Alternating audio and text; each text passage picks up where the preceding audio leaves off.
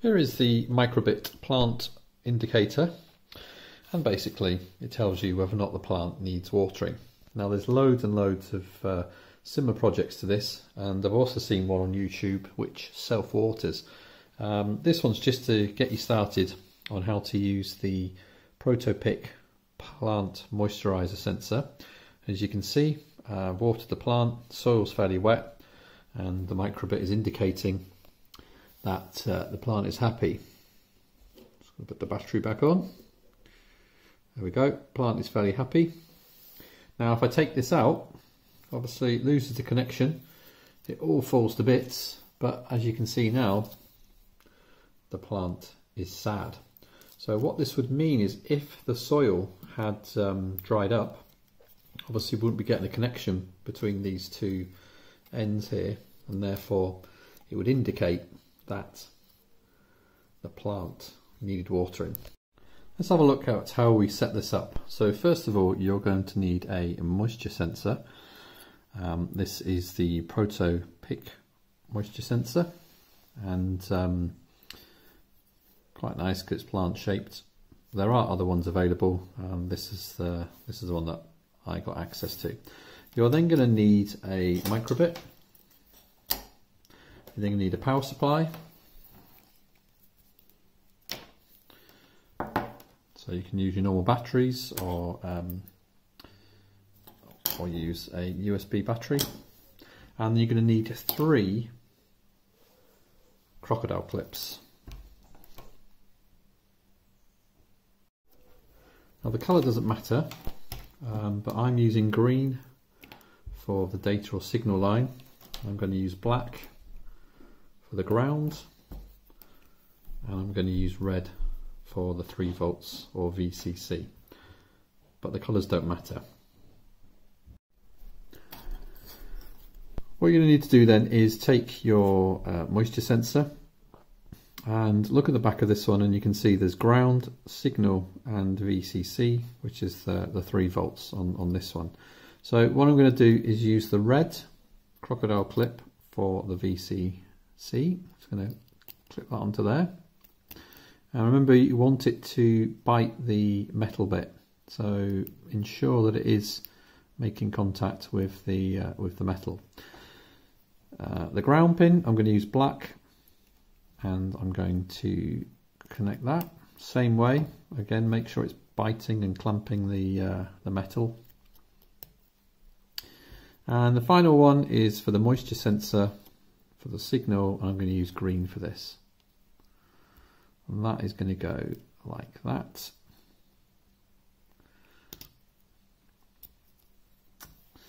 Okay so we've got ground signal and the VCC which is the the 3 volts.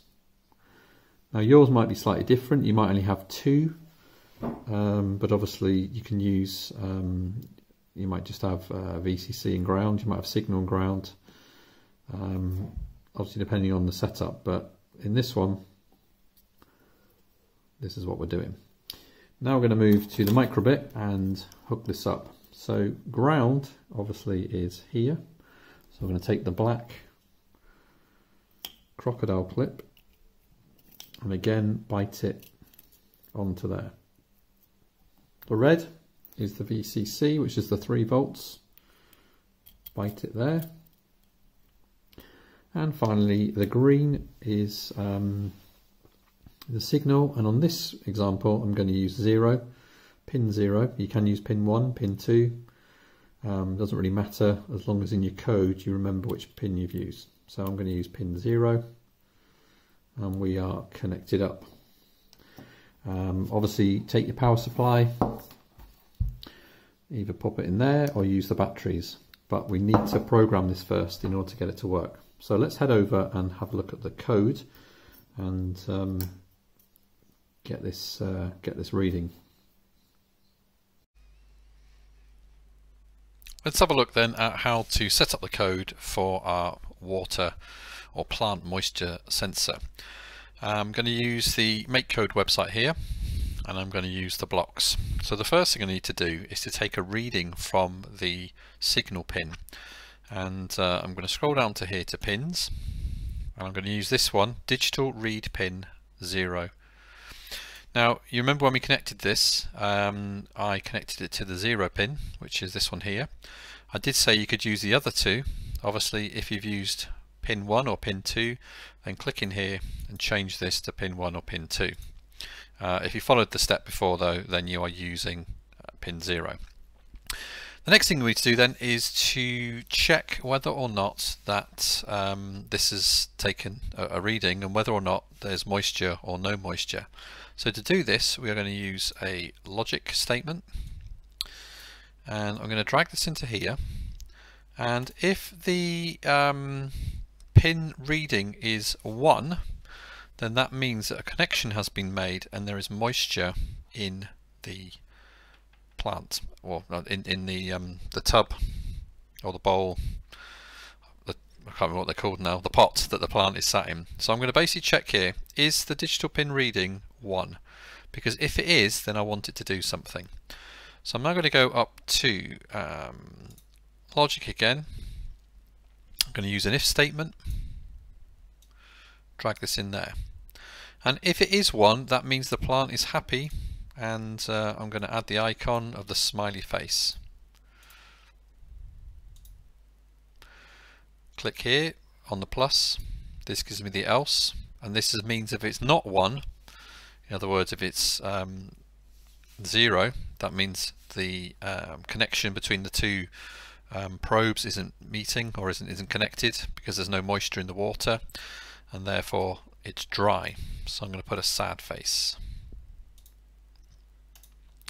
Now I want this to repeat forever, so I'm going to go up to the basics and I'm going to go forever. So let's have a quick look through the code. Forever, in other words, do this forever. Keep checking that the digital read pin on 0 here is equal to 1 and if it is then show a happy face. If it isn't then show the sad face. Um, you'll need to connect your microbit and then we're going to go to download.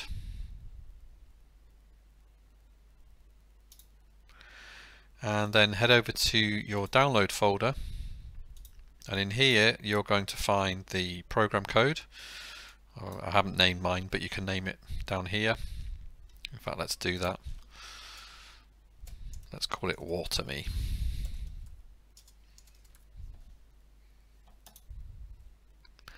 save that download it back to the downloads folder there it is, microbit water and then what you want to do is drag it down to your microbit so that it writes to the microbit.